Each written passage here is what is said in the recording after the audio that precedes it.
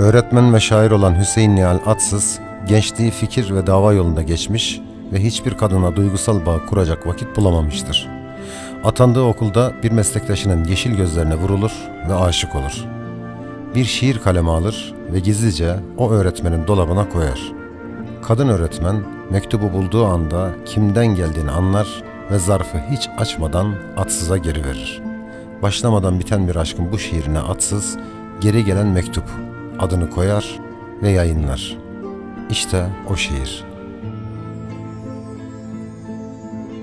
Ruhun mu ateş, yoksa o gözler mi alevden? Bilmem bu yanardağa ne biçim korla tutuştu. Pervane olan kendini gizler mi hiç alevden? Sen istedin, ondan bu gönül zorla tutuştu.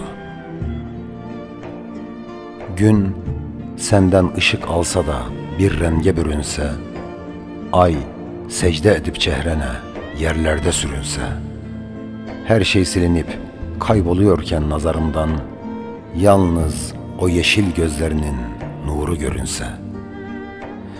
Ey sen ki kül ettin beni onmaz yakışınla, ey sen ki gönüller tutuşur her bakışınla. Hançer gibi keskin ve çiçekler gibi ince, çehren bana uğrunda ölüm hazzı verince. Gönlümdeki azgın devi rüzgarlara attım, gözlerle günah işlemenin zevkini tattım. Gözler ki birer parçasıdır sende ilahın, gözler ki senin en katı zulmün ve silahın. Vur şanlı silahınla, Gönül mülkü düzelsin.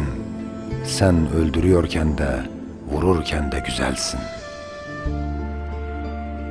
Bir başka füsun fışkırıyor sanki yüzünden. Bir yüz ki yapılmış dişi kaplanla hüzünden.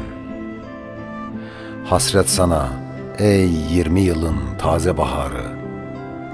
Vaslınla da dinmez yine bağrımdaki ağrı. Dinmez gönülün, tapmanın, Aşkın sesidir bu. Dinmez. Ebedi özdeyişin bestesidir bu. Hasret çekerek uğruna ölmek de kolaydı. Görmek seni ukbadan eğer mümkün olaydı. Dünyayı boğup mahşere döndürse denizler, tek bendeki volkanı söndürse denizler. Hala yaşıyor gizlenerek ruhuma Kabil. İmkanı bulunsaydı bütün ömre mukabil. Sır etmeye elden seni bir perde olurdum. Toprak gibi her çiğnediğin yerde olurdum. Mehtaplı yüzün Tanrı'yı kıskandırıyordur. En hisli şiirden de örülmez bu güzellik.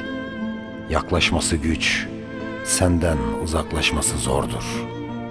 Kalbin işidir, gözde görülmez bu güzellik.''